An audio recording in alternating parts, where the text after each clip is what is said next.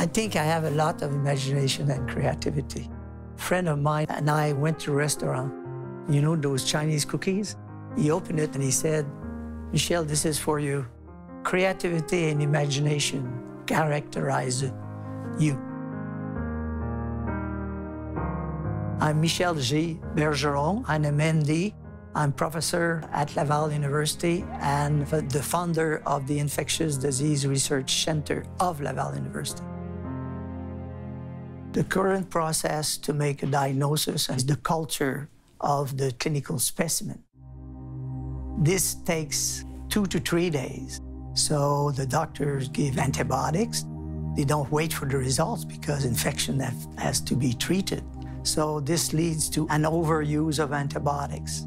Each time you have a new antibiotic, a few months or a few years later, there was antibiotic resistance because of the overuse of antibiotic.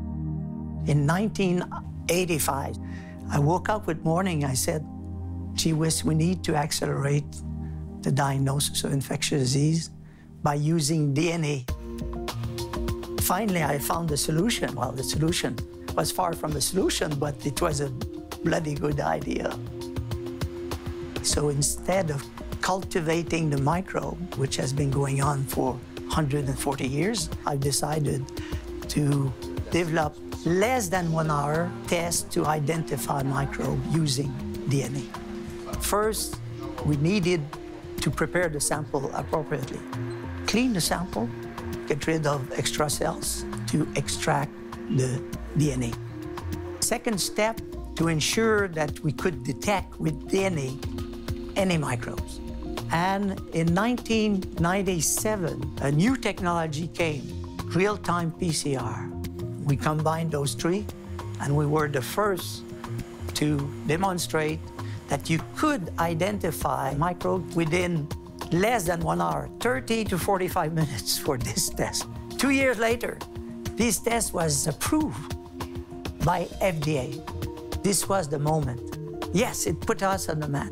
It put us on the map. And by having rapid results, you can really change the practice of medicine and save lives. So I've been married since 1968, and I have three children and uh, six grandchildren. Right now, at 72 years old, uh, I do rollerblade, uh, I do cross-country skiing, uh, I do a little bit of bike, I do a lot of swimming. I need to move, my body needs to move. So what's next? What's the future? We need point-of-care diagnostics. So instead of having the test done in the hospital laboratory, my second dream was to transform this technology into completely automated system. Science is advancing at a rate unbelievable, and the future of Canada lies in, uh, in the knowledge economy. We need to push that. What I love about what I'm doing we save thousands of lives every week or maybe every day. My dream came true.